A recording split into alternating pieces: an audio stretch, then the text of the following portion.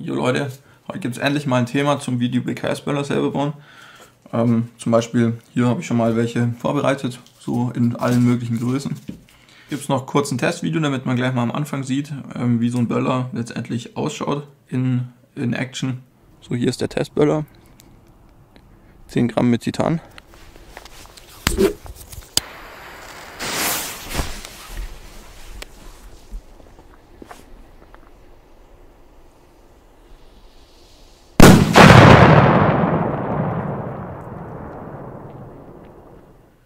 Ich empfehle jedem, der überlegt, sich mit diesem Thema auseinanderzusetzen oder sowas zu machen, dieses Video bis zum Ende anzuschauen, weil es euch und andere auch vor sehr schlimmen Verletzungen und so bewahren kann. So beim Thema Böllerbau ist natürlich das Allerwichtigste die Sicherheit und das Allersicherste, was man beim Böller selber bauen machen kann, ist es einfach ganz zu lassen. Also es ist mein voller Ernst. Es besteht dabei zu jeder Zeit und immer, egal welche Materialien man verwendet und sonst was und sonst wie aufpasst, besteht immer die Gefahr, dass irgendwas schief geht und man sich und andere sehr schlimm verletzt. Deswegen mein Rat, macht es einfach nicht. So, das ist die sicherste Variante. Ich weiß allerdings ganz genau, dass es trotzdem Leute gibt, die sich dessen bewusst sind und trotzdem sowas machen. Und für die werde ich jetzt hier äh, eben ein paar Tipps geben, dass sich das Ganze noch so sicher wie möglich gestaltet. Also ein Böller besteht im Prinzip aus drei beziehungsweise vier verschiedenen Teilen. Hier ist einer ohne so eine Hülle. Und äh, zwar der allgemeinen Hülse außenrum hier. Dann zwei Stopfen, also die, die Stopfen vorne und hinten, die Zündschnur und das BKS innen drin. Ich werde einfach zu allem äh, ein bisschen was sagen, auf was man auf jeden Fall achten muss. Genau, ich fange einfach mal an mit der Hülle. Wie man solche Hülsen rollt und herstellt, habe ich schon mal ein Video gemacht, das ist jetzt in der Infokarte. Hier sind eben solche Röhren aus Pappe und beim Capulize habe ich eine andere Hülsentechnik ähm, angewandt, beziehungsweise ja, was heißt erfunden, ja, entwickelt. Die ist auch in der Infokarte. Hülsen dürfen nur aus Pappe oder Papier bestehen. Auf keinen Fall irgendwas, was splittert. Ähm, zum Beispiel PVC-Rohre oder schon gar kein Metall. Es gibt ja zum Beispiel diese äh, PVC-Installationsrohre aus dem Baumarkt, irgendwie zwei Meter für einen Euro oder so wo man natürlich ganz bequem einfach nur irgendwie 5 cm lange Stücke runtersägen kann und dann hat man schon fertige Hülsen. Aber das sollte man auf keinen Fall machen, weil PVC, das splittert auch und die Splitter fliegen euch dann um die Ohren. Und wenn die einem Auge treffen oder sonst wo stecken bleiben, kann das ganz schlimme Verletzungen herbeiführen. Erst recht natürlich wie äh, bei Metall oder anderem Zeug, was splittert. Bei Metall, das ist prinzipiell eine Splittergranate dann. Ich habe auch schon so PVC-Rohre früher verwendet und Metallrohr, aber das war extrem dumm. Das mache ich jetzt natürlich auf keinen Fall mehr. Und solche Hülsen aus Pappe zerfetzt, schön in ein paar, äh, in so ein paar Fetzen eben. Und das Schöne ist, die vergammeln auch danach einfach. Ähm, ich weiß, jetzt werden zwar wahrscheinlich wieder Leute kommen, die sagen, ja, ich mache schon seit fünf Jahren hunderte so PVC-Rohrböller und es ist noch nie was passiert. Ja, das ist, mag richtig sein. Aber das ist eine bescheuerte Einstellung, weil selbst wenn 10.000 Mal was gut geht und dann beim 10.001 Mal euch der Splitter ins Auge fliegt, bringt euch die ganzen 10.000 gut gegangenen Böller nichts, weil ihr dann trotzdem blind seid. Und deswegen ist diese Argumentation kompletter Schwachsinn. Genau, kommen wir weiter zu den Stopfen. Also ich habe hier Pappstopfen, die sind aus dem gleichen Papier wie die, wie die Hülsen gerollt sind. Und, und Leim hier und Leimwasser. Also habe ich auch schon wieder gemacht dazu. Wer es noch nicht kennt, ist in der Infokarte. Ähm, ja, die sind ja relativ aufwendig. Und ich habe ja früher auch schon lange Zeit immer Heißkleberstopfen verwendet. So für Stopfen grundsätzlich gilt, man darf auf keinen Fall ein Material benutzen, was bei der Explosion äh, nicht kaputt geht. Also zum Beispiel Heißkleber oder Gips oder irgendwas anderes, was eben hart bleibt und durch die Gegend fliegt. Ähm, ich habe es ja lange Zeit gemacht, Heißkleber stopfen, bis zu einem gewissen Punkt, beziehungsweise einem gewissen Ereignis. Zwar ist an Silvester einem der Heißkleberstopfen von dem Böller gegen das Bein geflogen. Und die Folge davon war so ein blauer Fleck, ungefähr wie von einem Paintball, Wer schon mal Paintball spielen äh, war, weiß, äh, was ich meine. Und wenn jetzt dieser Stopfen in sein Gesicht geflogen wäre, oder auch von mir aus in seine Eier oder sonst wohin, dann hätte das ganz schlimme äh, Folgen gehabt. Und seitdem habe ich nie wieder Heißkleberstopfen verwendet, sondern diese Pappstopfen hier entwickelt. Dafür gilt jetzt wieder das Gleiche, wie ich vorher schon bei den Hülsen gesagt habe. Es kommen bestimmt wieder Leute und sagen, ja, ich habe schon, ich habe bis jetzt nur Heißkleberstopfen verwendet und gezündet und es ist noch nie irgendwas passiert.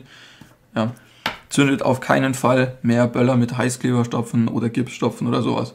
Es reicht außerdem nicht, den Böller einfach nur hinzustellen, ähm, mit der Ausrede, dass ja dann die Stopfen nach oben rausfliegen. Äh, das stimmt zwar, tun sie dann, aber die kommen ja auch wieder runter. Wenn man jetzt Gips benutzt hat, das ja praktisch wie ein Stein ist, dann ist es bestimmt nicht sonderlich angenehm, wenn man einen Stein aus was weiß ich wie viel Meter Höhe mit einer irren Geschwindigkeit auf den Kopf bekommt. Außerdem kann der Böller umfallen und dann habt ihr genau das gleiche Problem wieder, dass euch die Stopfen um die Ohren geschossen werden. Genau so viel zu den Stopfen. Dann komme ich noch weiter zur Zündschnur. Die Zündschnur ist das wichtigste, praktisch eigentlich wichtigste Sicherheitsding am Böller, weil die euch natürlich Zeit gibt, entsprechende Entfernung, entsprechenden Sicherheitsabstand einzunehmen. Genau deshalb darf die Zündschnur auf keinen Fall selber hergestellt werden, weil Zündschnur herstellen selber ist, also dass sie wirklich gut ist, ist sehr schwierig. Da braucht man äh, spezielle Maschinen dafür. Es gibt so schwachsinnige Videos zum Beispiel, wo irgendwie ein Baumwollfaden in so zerstampfte Streichholzköpfe oder so einge taucht wird oder halt so, ja, das halt da dran haftet. Das ist bescheuert, also das ist komplett unzuverlässig, das kann einfach ausgehen und durch irgendeinen Stopfen brennt das sowieso nicht durch. Selber hergestellte Zündschnur kann irgendwie zum Beispiel einfach ausgehen und dann geht man hin, um zu schauen und dann brennt die auf einmal weiter, weil sie nur noch geglimmt hat, weil sie im Scheiße hergestellt wurde. Und dann explodiert der Öler, wenn man gerade daneben steht. Ja, die Folgen kann man sich ja denken. Das kann natürlich auch bei gekauften Zündschnüren äh, vorkommen, dass sie irgendwie kaputt gehen oder so. Äh, aber also ich habe es wirklich, ich habe schon mehrere hundert Meter Zündschnurrollen äh, verheizt und es ist einfach noch nie irgendwas nicht gezündet oder so. Deswegen ja, sind die eigentlich relativ sicher.